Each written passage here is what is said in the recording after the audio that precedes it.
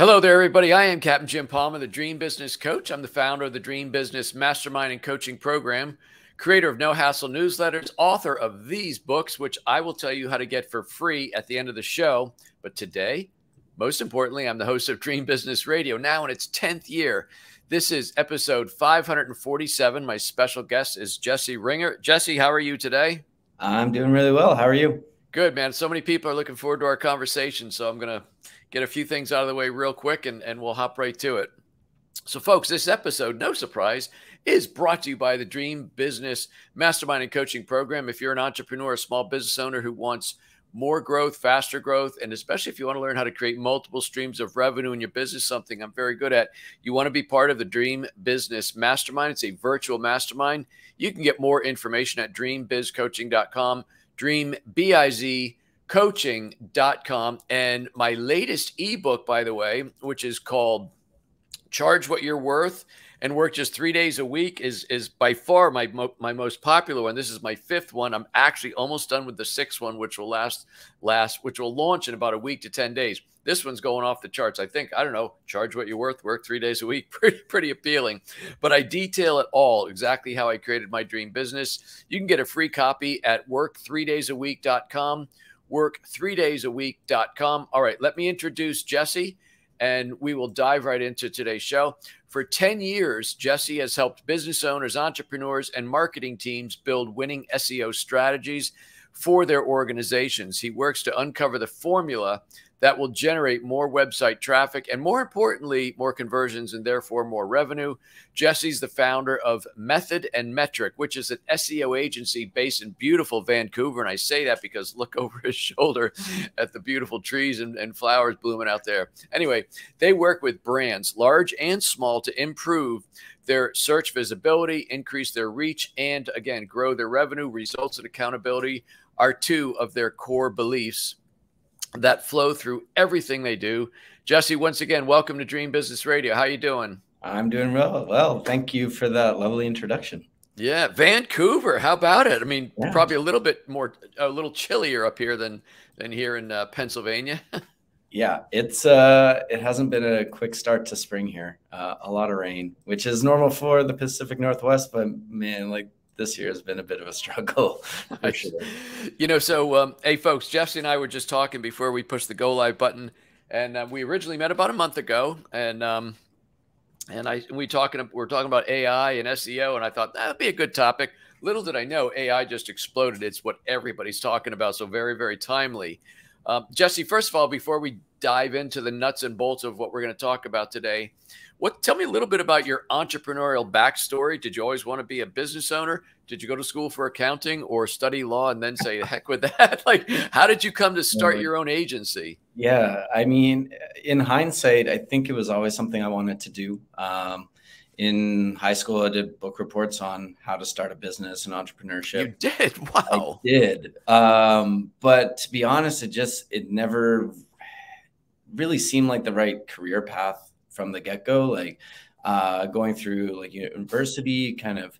Um, my goal is to find a, a, job in like an ad agency, working as a copywriter or some form of like creative in that space. And uh, it was shortly after the 2008 financial crisis, so companies were not as quick to hire uh, new people, and so from there, I kind of found odd jobs, uh, writing content and working with them um, in a contract position. And so um, eventually someone that I knew came across my resume and was just like, "Hey, so you do SEO?" And I'm like, "Yeah," with a big question mark uh, at the end of that one, and uh, it just sort of grew from there. Um, I found that with uh, with SEO, I could articulate um, you know my perspective a lot better especially getting into the workforce. Like if someone had feedback about my writing style or the messaging um, i didn't really have a good recourse for that. And i found with seo having the analytics to back up my viewpoint um, prove that it was like it was working uh, really helped me accelerate that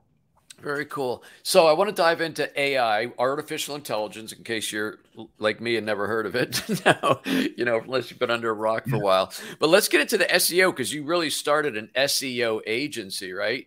Yeah. Um, so where do you want to start? I mean, um, what's is there what's new and first i want to talk about your um, what's new in seo but i also want to talk about your agency experience because a lot of people um, that i work with coaches etc sometimes they grow beyond their solopreneur roots and they bring on teams. So, so actually, let's go there yeah. instead of telling you what I'm going to tell you. I'll just or ask you. I'll just ask you, what are some of the challenges of actually running a team, going from your own solo SEO business at your dining room table or wherever your spare office is, into actually having an agency with a lot of employees? Oh man, um, I think that answer uh, will require more than this time for the show allows. But right, um, give us the three to four minute yeah, version. I would say the biggest challenge is getting comfortable with the fact that people are going to approach problems and doing the work mm. differently than you. Yes. Um, at least for me, it was a bit of a, a struggle to sort of like align with the fact that they're not going to, you know, walk the same path to getting to the solution as you. Um, but also being okay with that and, and, you know, ensuring that you trust the people that you're going to work with like that is really hard when you're building something that is your own. You know, you have to share the responsibility. You also have to share the success and, and the failures of it. And so, uh, yeah, you kind of have to get really comfortable with the fact that things are going to be done differently than you would normally do them. It's a it's a much bigger struggle, and I think entrepreneurs actually think about um, one of my Jimisms, I guess, is delegate or stay small forever. So if you think you're going to continue to do everything, just give up your dream of a big business because it's impossible. Um, I'll just share one quick tip. Um, one of the things that helped me get comfortable because you know in in my heyday, which is back when I had four or five different businesses and I started coaching, I had about 15 virtual assistants. I'm down to to maybe you know half a dozen now. But at that point, I, I was like, oh my gosh, I would have done it that way. And I'm like, uh, but I'm like, I'm so one thing I dipped out of all those conversations. I trained and then I let them do what they what what I trained them to do. But mm-hmm. the other thing which helped me just from a mindset standpoint is I figured if the people that I hire and train and therefore give it and put in charge of a task, if they can do it 80% as good as I can, then I'm off to the races, right? They're never going to be me. Everybody, oh, can I just, you know, can I clone myself? That's not not possible, right? So if they can do it 80% as good as me, that allows me to move on to higher revenue generating activities. So that's how I did it. Um, did you start out with, um, say, virtual assistants, or did you just start hiring people? Uh, I started with contractors. Okay. Yeah. So I'd, uh, we got I got to a point where you know doing a lot of the the more tedious SEO tasks like writing image alt text or meta tags and things like that became just a bit too cumbersome and, and time consuming. So I started delegating out to contractors where it was kind of like a fixed deliverable. Um, we both had the same outcome in mind and it didn't really matter how they got to the end result. So that was one way that I got comfortable like that, uh, going that way. And then, um, yeah, I, I, brought in a virtual assistant to kind of handle a lot of the admin stuff mm-hmm. a lot later than maybe I should have in hindsight because yeah, there's a lot of things, you know, getting contracts signed, following clients on payments, and and you know, making sure that all of that stuff is well taken care of was something that I was very reluctant to give up control on, and so it was uh, a bit slower than I think I should have. Yeah, so SEO, you know, search engine optimization, it's a it's a really multifaceted deal. It's all designed so your stuff gets noticed amongst the billions of other things out there, and it involves keywords and, um, as you said, meta tags and things like that. So, mm-hmm. a lot of people that watch Dream Business Radio or or listen to it on, on the replay are solopreneurs, entrepreneurs. Maybe they've got a team of two or three to five. So I, you know, most of the people that that listen to the show don't have 25 employees in in multi divisions. That that's not who my audience is. So for a small business owner and even um, solopreneurs that are posting their own blogs and things like that, can you give maybe just a few tips on, you know, what you should do as far as keywords, meta tags, and things yeah. like that? Yeah, I'd say. I mean, first and foremost, do your research. Uh, figure out what keywords not only matter to your business, but also like what people are using to search for you. Um, you know, search volume shouldn't be the only metric that you're looking at. You should look at competitiveness, uh, relevancy. Um, you know, and how accurate it is to your core service offering. Like uh, one example I'd say is like, you know, a good keyword for us hypothetically would be SEO consultants in Vancouver. Okay. But we're not consultants, we're a full fledged agency. And so for us to try and rank for that term wouldn't be really worth our while because the, the person that is looking for a consultant versus a person that is potentially looking for an agency are going to have very different needs and so we want to make sure that we're clearly aligned on on the messaging because it's all well and good to rank for keywords but if they don't help generate more leads or more revenue for you those keywords are effectively kind of useless. Right, so, the right kind of the right kind of you know the right keywords for matching the right audience is what you're saying. Exactly yeah. So find the right search intent with it you know figure out um, and like go into the search results yourself and see what they they say and what they're showing it there because um, that's going to make more sense for a person searching. Like if they click on a result and the content on your website doesn't match what they had in mind for their search they're going to leave and so you want to make sure that all of that is in tune with the keywords that you're using Okay. Hey, I'm going to put you on the spot just a little bit. We'll test your knowledge. Don't be worried. All right. All right. Okay. So, when you just said um, uh, some people search for SEO consultants, but that's not you, you're an SEO agency, right? So, that's really being clear on who you are.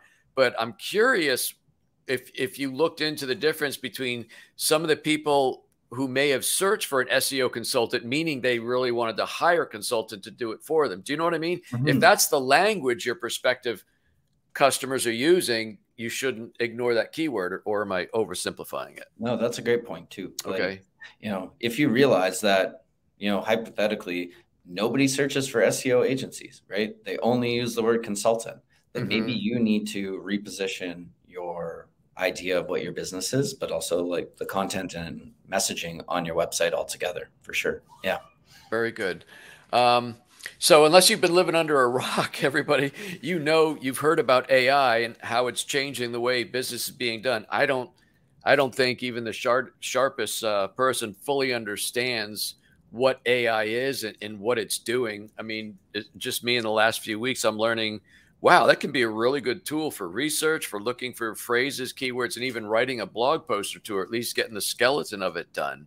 What is what is AI? And then let's talk about how it specifically works in your business, the, the SEO business. Sure. Uh, I mean, AI, in my view, is um, you know uh, a mechanism for learning information quickly, but also you know outputting content and creative components um, pretty quickly and at scale. Um, obviously, that's a pretty basic way of describing it, but mm-hmm. um, in the sense of like content creation and SEO, it allows us to quickly scale repetitive, low value tasks in a way that helps us become more efficient.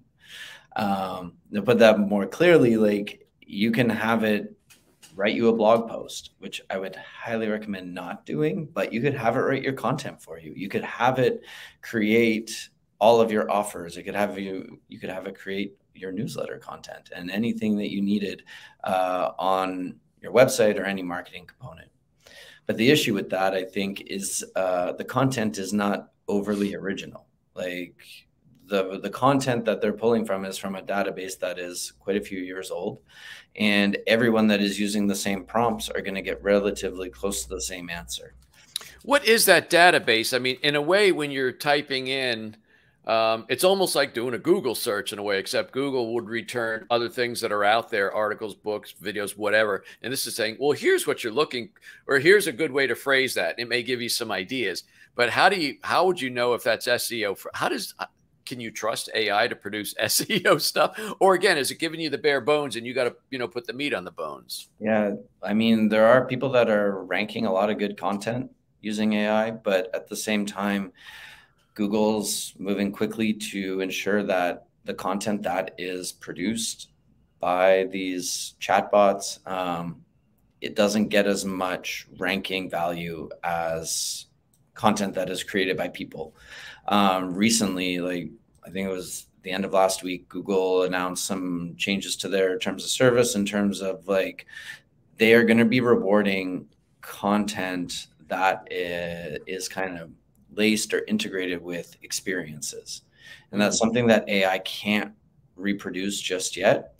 But, you know, they're looking at, you know, how human and how interpersonal like the content is in order for it to be deemed good and valuable from, from a search engine perspective whenever I have a guest on, I like to have at least a limited knowledge so I don't sound completely, you know, ill equipped. But I feel like I'm completely ill equipped in this conversation, but I trust you.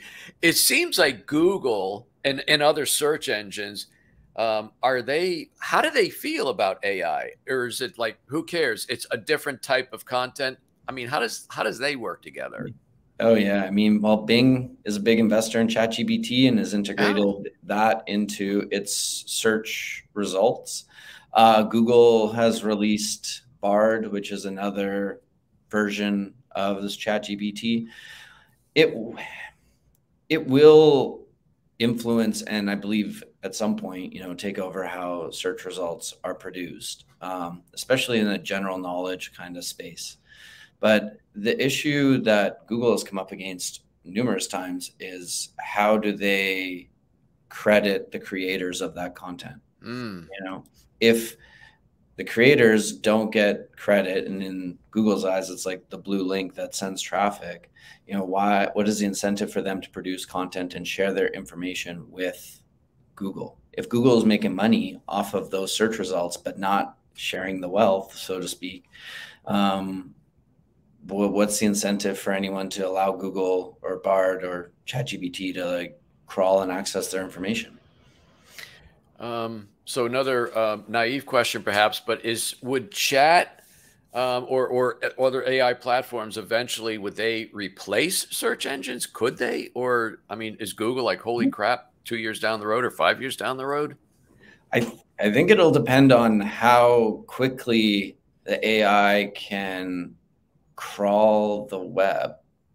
From what I've been reading, especially from a search perspective, like it takes a lot of power and money to scrape the internet. And if it's to do that on a daily basis, the way that Google is able to, um, the way that Google can produce news results or tweets that have happened like less than an hour ago. Um, if Bard and ChatGPT are to do that, it's going to require a ton of money and a ton of resources in order to be able to consolidate all that information, parse whether or not it's factual, and then produce it in a way that people will consume it.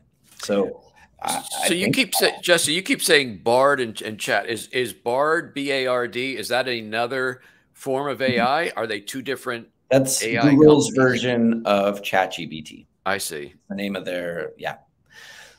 So it's relatively new. I think they re- did a limited release a couple of weeks ago for testing, but uh, yeah, it's it's gonna probably take over because it just it improves a lot of experiences. Um, but I think there's going to need to be a balance around uh, rewarding the creators of that content as well. How do they? How do the creators like Bard or Chat? How are they going to be remunerated? Like, why are they doing this? What's in it for them, so to speak? I think it produces cleaner, clearer results. Mm-hmm. Um, it it's engaging. It's easy for people to have a conversation with it and kind of dig deeper much more simply than the current structure of Google's searches. And so, yeah, I think that it's just it is a better experience at the end of the day. You know, for for someone that is looking for I don't know recipes or movie recommendations or what have you, like those kinds of things. It's just a nicer, nicer experience, and that's okay. We're gonna gravitate towards.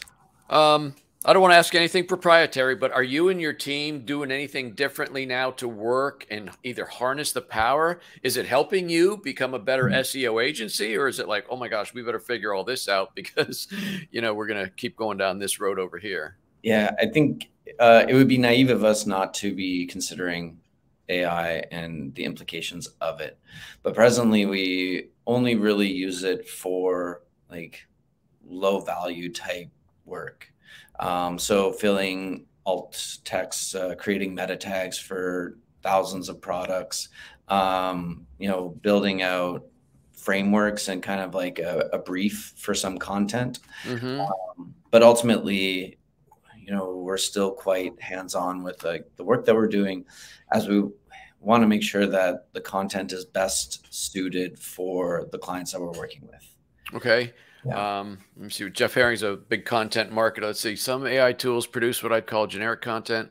What are some of the best prompts to get better content delivered by AI? Oh, that's a great question.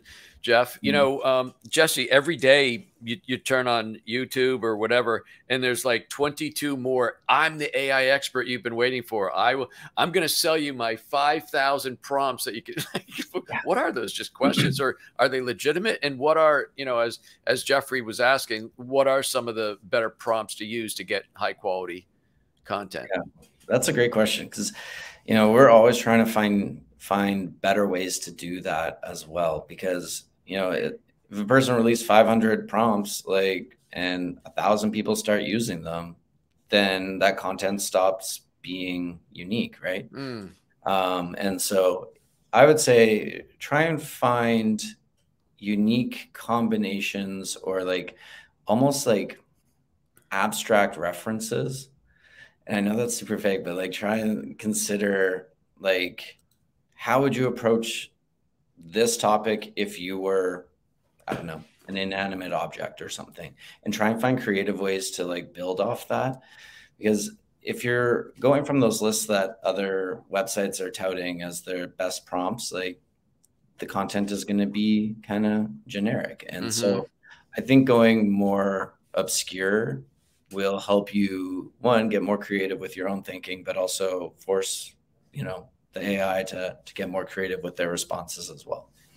So can AI? I mean, you can ask it. I guess that would well, to use the correct language, it's prompt asking a question. Can you ask it to what are some great keywords to help with SEO of, and then fill in the blank, or what are great meta tags to use for a website that sells? So is that what it does? I mean, does it actually yeah. figure it out, or does it go find it?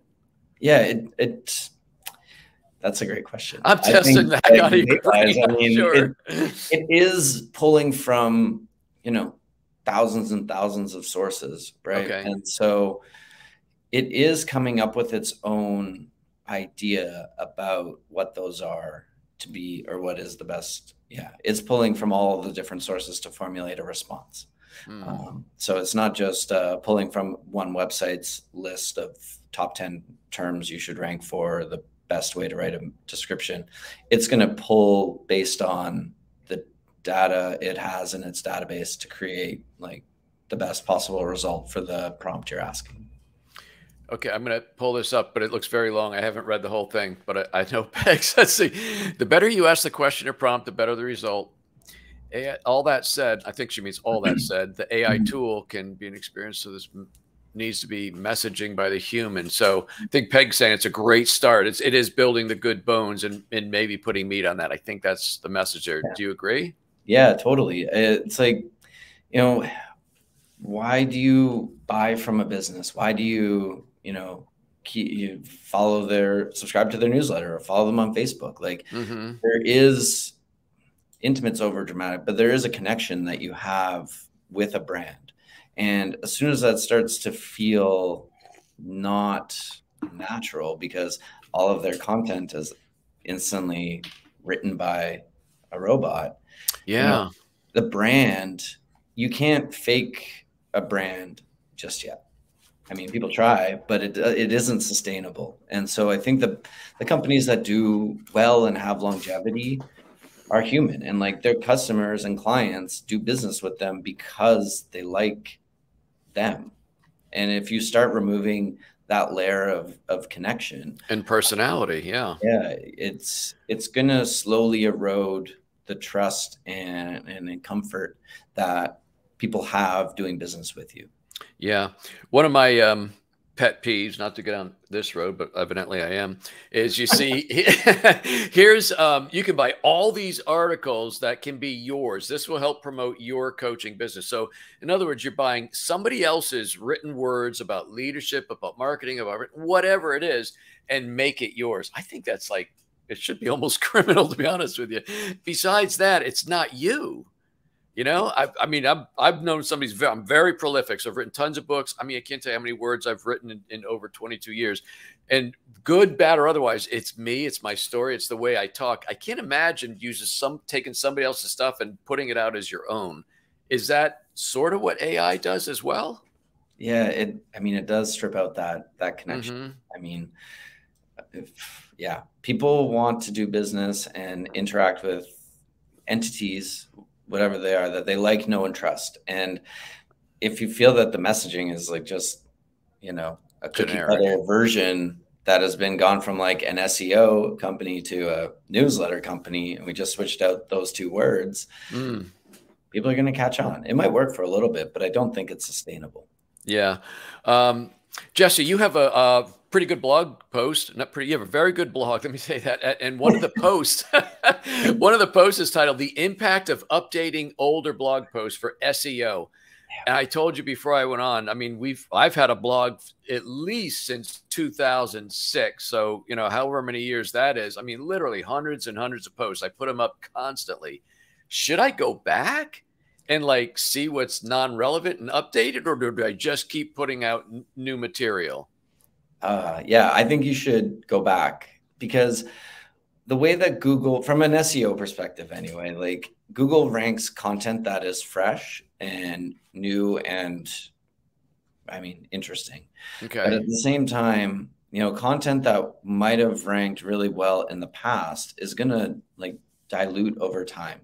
And so by going back and refreshing that content, one, you get to add a new perspective to it you also get to kind of signal to Google that this content is still relevant and interesting, and we've just added some new context, you know, for the year that you're writing it. And so, also, like from a you know resource perspective, it's way more time efficient to yeah. you know update an old post and then you know than writing a new one. So it's really worthwhile, both from a search perspective, but from a resource planning perspective.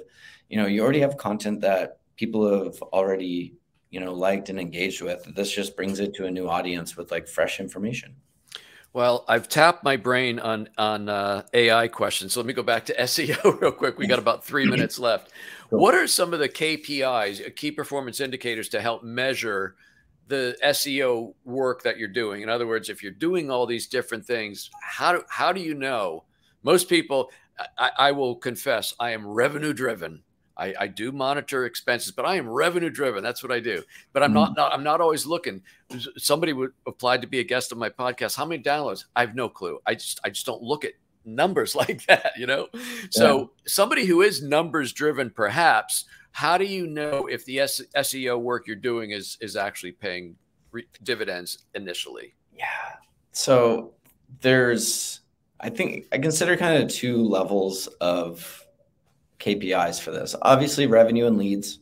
That's an obvious one um, because people are finding your business, finding your website, and they like what they see and they're taking action.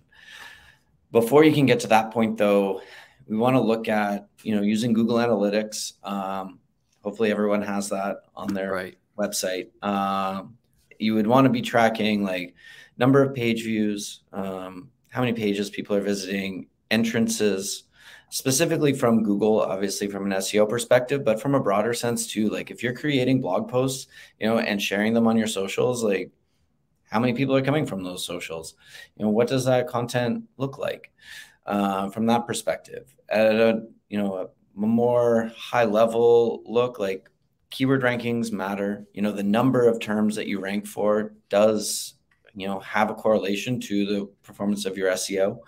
Um, search impressions, the number of times your website has appeared in Google search results is a good bellwether of, you know, how your content is ranking. Mm-hmm. Obviously, clicks from Google matter a great deal.